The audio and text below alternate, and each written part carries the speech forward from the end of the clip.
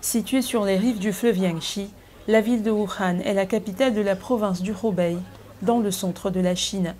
Important pôle industriel et commercial, son histoire remonte à plus de 3000 ans.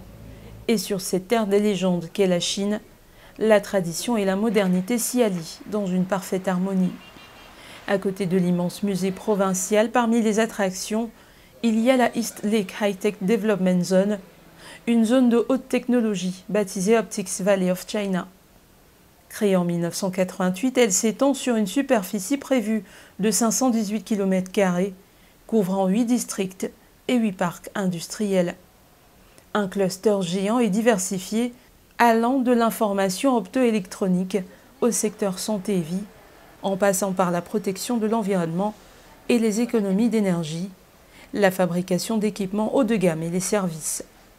Chacun de ces secteurs ayant un marché de plus de 100 millions de yuan. Les circuits intégrés et l'économie numérique sont deux industries émergentes dans la zone. C'est donc ça le Optics euh, Valley Exhibition Center, le centre qui nous présente un peu toute cette euh, cité Optics Valley of China, une cité qui aujourd'hui, depuis sa création, emploie 1 800 000 personnes. C'est 81 entreprises créées au quotidien, une cité qui tend à être la deuxième cité euh, par excellence en termes d'innovation et de technologie ici en Chine. C'était pour vous en direct de Chine, à Wuhan précisément, à l'Optics Valley euh, of China, Fred Dongo et Blanche Pitga pour Gabon 24.